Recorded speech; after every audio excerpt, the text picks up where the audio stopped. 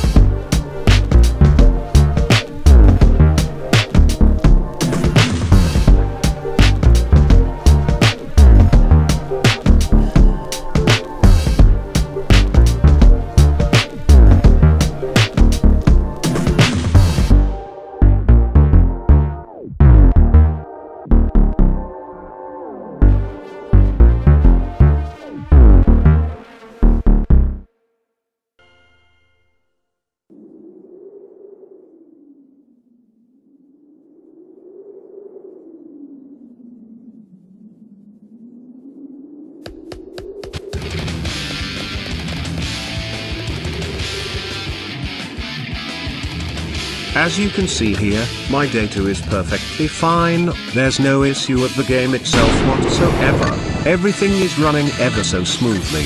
Try this method out for yourself as there's literally no downsides. Don't give in to the hordes of retards and clowns that try to do their trademark fearmongering claiming Roblox won't be up for another week or your data will be wiped upon clicking play. Even the ransomware claim is utter bullshit. All the forum posts you've seen that look official are edited.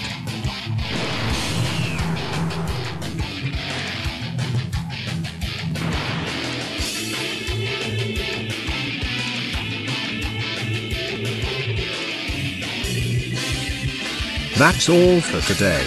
Like the video if you like the video and dislike the video if you dislike it. Drop a sub too as I literally have more videos than subs right now.